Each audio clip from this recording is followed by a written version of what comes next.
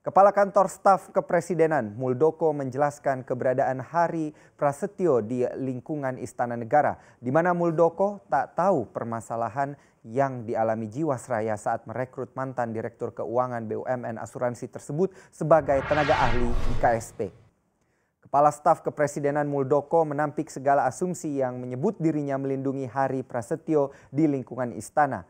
Muldoko mengakui bahwa proses perekrutan staf kantor staf presiden atau KSP sebelumnya kurang ketat sehingga mantan Direktur Keuangan PT Asuransi Jiwasraya Hari Prasetyo dapat masuk ke istana.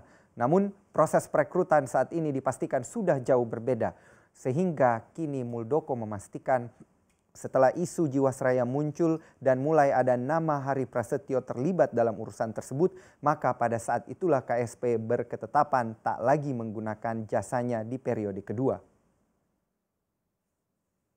Yang kedua, bahwa setelah isu Jiwasraya itu muncul ya, dan mulai ada nama Pak Hari di, di, di, di, di apa terlibat dalam urusan itu, maka pada saat itulah kita bertetapan, berketetapan, oh tidak lagi merekrut yang bersangkutan untuk melanjutkan pada periode KSP kedua.